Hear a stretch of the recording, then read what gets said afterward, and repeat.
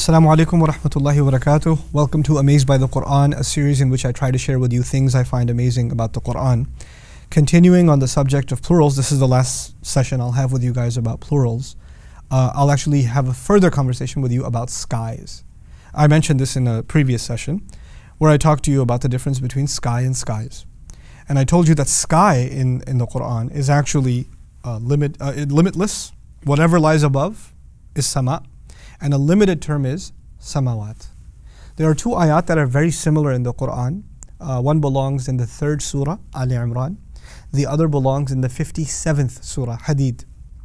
Now I'll read the ayah in Arabic and I will also translate it for you. سارعوا إلى وسارعوا إلى مغفرة من ربكم وجنة عرضها السماوات والأرض أعدت للمتقين. Rush, rush to the remembrance or to the forgiveness from your master. Rush to forgiveness that comes from your master. And rush towards a heaven, a Jannah, a garden, whose, sky, whose size is the skies and the earth. Now I'd like you to remember this part. The, what is Jannah's size compared to, heaven's size compared to? The skies, plural, the skies and the earth. It has been prepared, lil muttaqeen, for people who are cautious. Okay, so in this ayah, what is the size of Jannah compared to? It is the size of the skies and the earth. And I'm reminding you again, skies are limited. Skies are limited. What's unlimited? Sama, sky. The singular is unlimited because it's whatever lies above. It's not limited to seven. Now, the other ayah, this belongs to Hadid. Sabiqu ila maghfiratin min rabbikum. Race. The previous ayah said rush. This one says race to forgiveness from your master. وَجَنَّةٍ عَرْضُهَا and a garden whose size كَعَرْضِ السَّمَاءِ وَالْأَرْضِ is something like the size of whatever lies above and the earth. Wait, one was the size of Jannah that you should work for is equal to the skies, plural. This one, the size of Jannah is close to, it's something like the size of whatever lies above the sky. Meaning the, big, the sky is bigger this time. The sky is bigger this time. It's whatever lies above. So how come one Jannah is compared to a smaller space and the other Jannah is compared to a bigger space? How does that work? And the other one, it was an equality. In other words, its size is the sky, the size of the skies and the earth. This one is its size is nearly equal to whatever lies above, but not quite. It's not equal. Okay? The awesomeness of these ayat, first of all, is that one Jannah was prepared for al-muttaqeen, for people who have taqwa people who are God conscious. And it's not the only quality. الَّذِينَ يُنْفِقُونَ فِي السَّرَّاءِ وَالضَّرَّاءِ The people of God consciousness who spend when it's easy and when it's difficult. وَالْكَاظِمِينَ الْغَيْظِ And people who suppress their anger. وَالْعَافِينَ عَنِ النَّاسِ And people who pardon others lovingly. Whoa. وَاللَّهُ يُحِبُّ الْمُحْسِنِينَ And Allah loves those who excel. Wait, wait, wait. So this Jannah has been prepared for the God conscious who spend when it's easy or difficult who also suppress their anger and lovingly pardon people and excel. Is that everybody?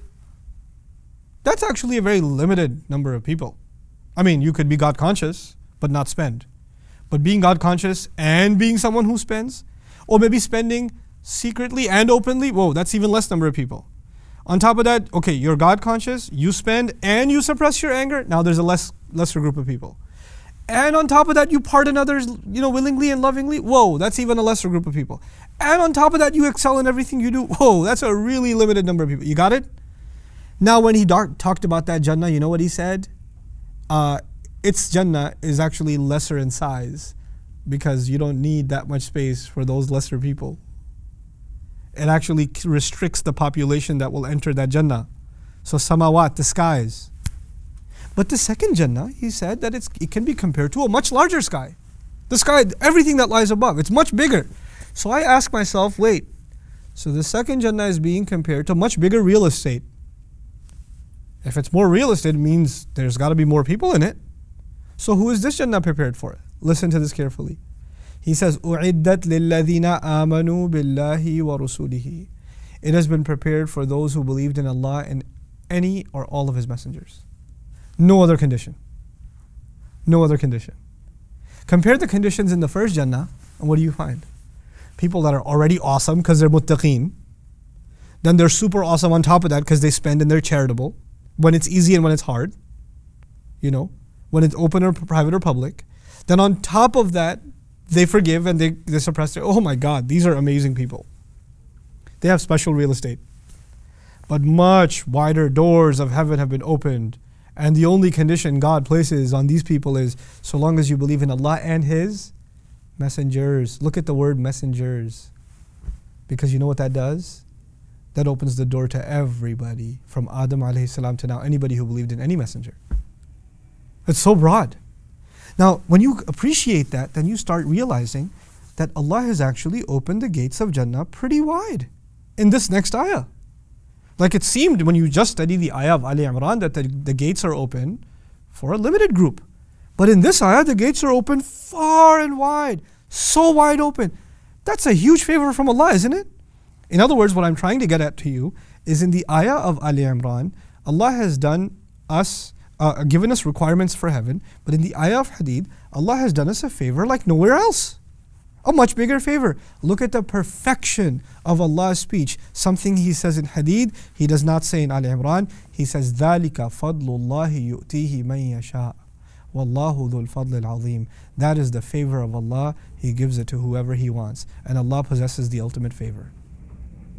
The ayah in which He did humanity a bigger favor by not putting hard restrictions on heaven. he ended the ayah by saying, that's the favor I give, and I can give whatever favor I want. I possess all the favors. Because human beings hear that I say, No, no, no, no, no, but you should put more conditions on people. You should have more restrictions. You shouldn't just give them, you shouldn't just tell them this part. There should be more things that are said, and they pray and they do this and they do this. And I'm not saying you shouldn't do any of those things, but Allah is opening that door because He wants to give hope. You know what I'm reminded of? I'm reminded of a famous saying of the Prophet ﷺ, famous incident in the life of the Prophet ﷺ. A guy comes to the Prophet ﷺ and says, "Ubayi'uka ala salatayn." It's so so awesome. He says, "I'm I'm ready to pledge my allegiance to you." Pledging your allegiance to the Prophet means accepting Islam. I'm ready to pledge my allegiance to you for two prayers. How many prayers was supposed to pray? Five. Companions are sitting in his company. Homeboy shows up and says, "I'm ready to be Muslim, but I ain't gonna give you more than two. The Prophet ﷺ says, That's fine, pledge your allegiance. The companions are in shock, like, uh, uh, five's a pretty big deal. You're not supposed to. How did you let that go? And the guy went off happy. Got it. Rasulullah described to them that once he tastes the sweetness of prayer, he'll come to five himself. When you start worrying about controlling what pe- how people will grow, Allah has a plan for how people will grow. Allah in this ayah says, just believe in Allah and His Messenger. And when that faith enters your heart, how that will grow into good deeds is natural. You don't have to restrict that. So don't make people hopeless from the beginning. Don't give too many requirements from the beginning. That's the beauty of this message. Allah gives people enough that they can get hope. And once they have hope, they can improve themselves and they, they hold themselves more responsible. Then they grow more, then they hold themselves more responsible. Instead of Allah burdening everything on them from the beginning, let them grow and mature so they can carry burdens on their own. This is the beauty of our religion. Just between these two ayat, how Allah opens the doors to Jannah. May Allah Azza wa Jal enter us into the highest levels of Jannah and allow us to enter through those wonderful gates. Barakallahu wa lakum. Wassalamu alaikum wa rahmatullahi wa barakatuh. Assalamu alaikum wa rahmatullah. If you enjoyed this video, please do share it with friends and family. If you want to see more videos from this series, click on the box at the top. If you want to see other videos, click on the box at the bottom. And don't forget to hit the subscribe button. Thanks.